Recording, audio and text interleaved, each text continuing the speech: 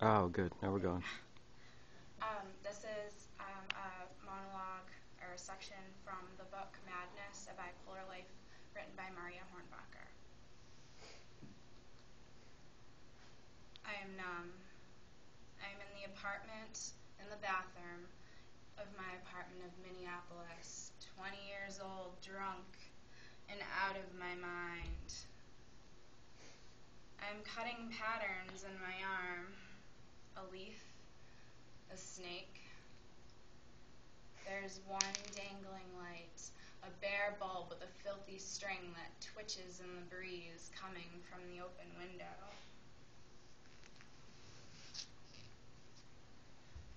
I look out at the alley and the brick buildings next door, all covered with soot.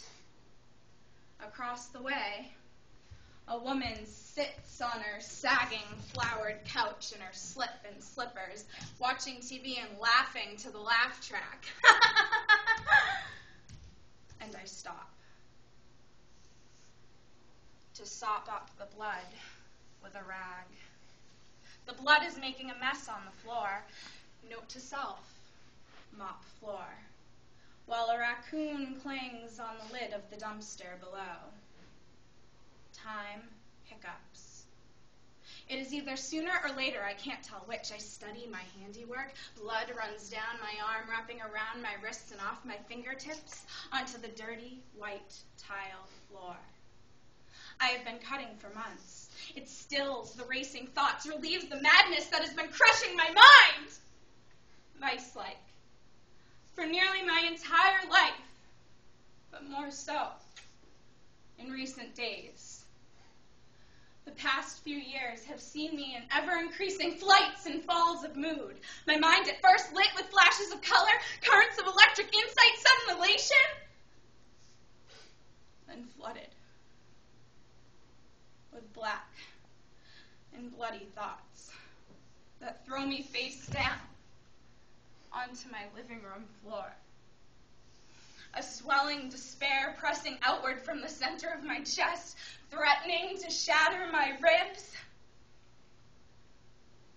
I have ridden these moods since I was a child.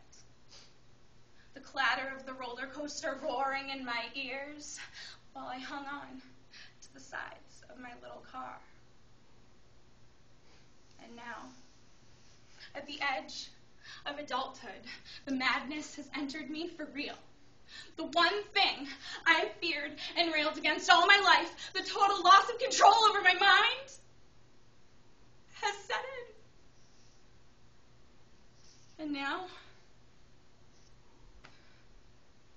there's nothing I can do to fight it anymore. I split my artery. Scene.